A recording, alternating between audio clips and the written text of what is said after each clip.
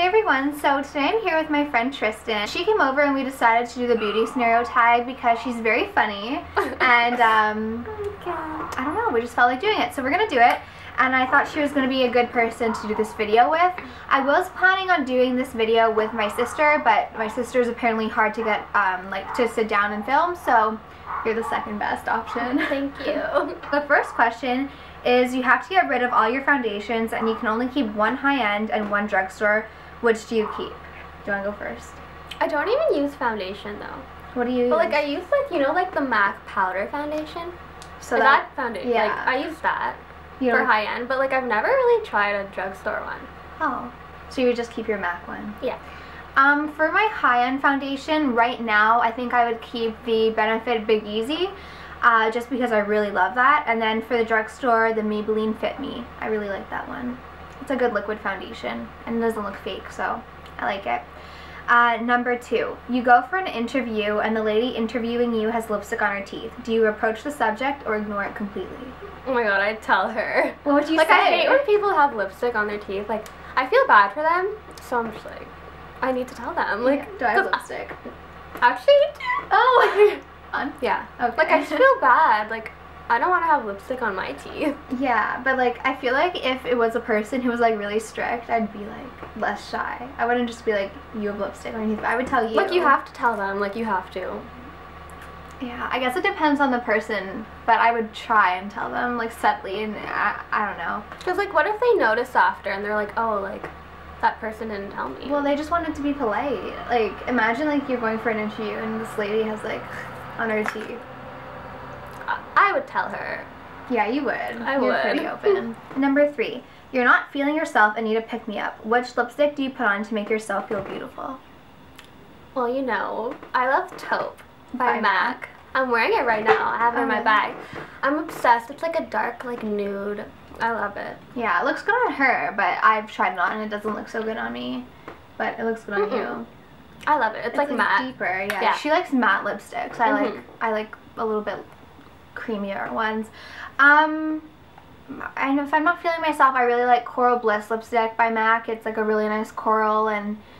Uh, whenever I put it on, it like brightens up my whole face. So probably Coral Bliss lipstick, or lip liner. I love lip Mhm. liner. Like as soon as I put on lip liner on my face, if I'm feeling like gross or whatever, if I put on lip liner, I I just know. like I just like I ties it. together my face. My favorite lip liner is Whirl by MAC, and I thought I lost it for the longest time in like my boyfriend's car or something, but it was under my bed, so I'm happy to have that back. Number four, you go back in time for a day to your teenage years. How would you do your hair and makeup differently? Well, since we're both 18, I guess like at the beginning of high school. Oh my god. In like grade eight, like I had a poof going on, like Like a. Snooki? Like oh my god. I'm gonna show you after. Yeah, I regret doing that. I don't. I don't know, man. Mm. your poof? yeah, I don't know. Yeah, that. Well, you're not. She doesn't wear so much. Like she doesn't wear eyeshadow or stuff like that. So. You're Oh, makeup neutral. Yeah. Oh. Oh, in grade eight, I'd really pack on like the powder. Oh. Like, I don't know why. Like, I looked orange. I don't know. I wanted to be tan, but like I'm brown. Um. Well, I remember in uh, the beginning of my high school years when I first started straightening my hair, I'd only straighten the two front sections, and then Oh. the back would be like all wavy and messy and ratty because like I didn't straighten it. So I would definitely do that differently. Um. I didn't like really wear that much makeup. Like my makeup style has kind of stayed the same for like the longest time, but I never did like colorful eyeshadows. I always stick to neutrals. I'd probably like tell myself to start plucking my eyebrows sooner because like for the, I didn't do my eyebrows for the longest time. I, I feel like I didn't do anything like super intense when I was a kid. So number five, you ask your hairdresser for a shoulder length Pixie Lott haircut, and they, but they hear wrong and give you a pixie cut. Do you A, smile and say thank you, uh, leave and call your mom hysterical, B, cry in the chair and things get awkward, or C, complain to the manager and demand a refund? Well, would you like to show them your hair? well, my hair is really long. You Yeah, stand like- up. Um, my hair is very long. And so thick.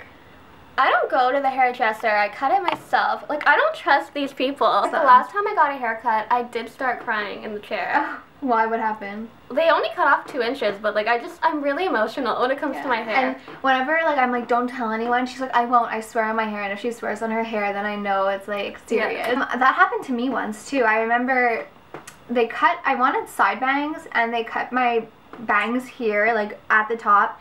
And I'm I'm a Leo, and I don't know if that has anything to do with it, but like I started crying, and like I stormed out of there. I was like so upset because like I had like little yeah. little things. It's traumatic. You can fix like badly plucked eyebrows or anything, but like if your hair, like it takes a while to grow back. Mm -hmm.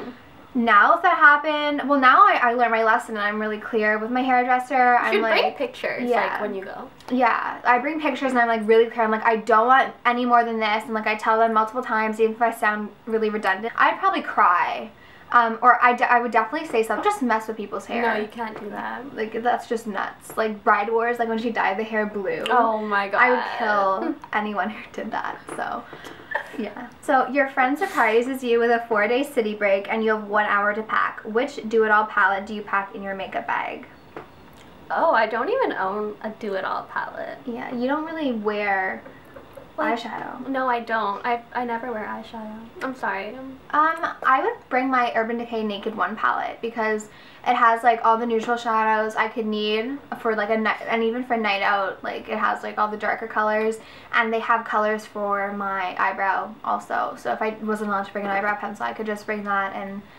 Um, yeah, I think Urban Decay Naked One or the Too Faced Neutral palette is good, but yeah, Urban Decay Naked One probably. Seven. Your house has been robbed. Don't worry, everyone is safe, but your beauty stash has been raided. What's the product you really hope is safe? Oh. Honestly, like my eyebrow pencil. I can only choose one. Yeah. Yeah, like my MAC eyebrow pencil. Cause like if my mm-hmm. eyebrows aren't done, I just feel really ugly. But I need concealer. Yeah. I don't know. I mean, I would say something like expensive, like my Clarisonic I hope is safe because that's expensive. Oh yeah. Um, but if it was like a beauty product, like a makeup product, I'd probably hope my mascara was there because if I don't have anything else, if I just have mascara, then I'm fine for like, the day. what about your eyebrows? Yeah. I mean, I'd rather have mascara and big lashes than eyebrows because it like opens your eyes.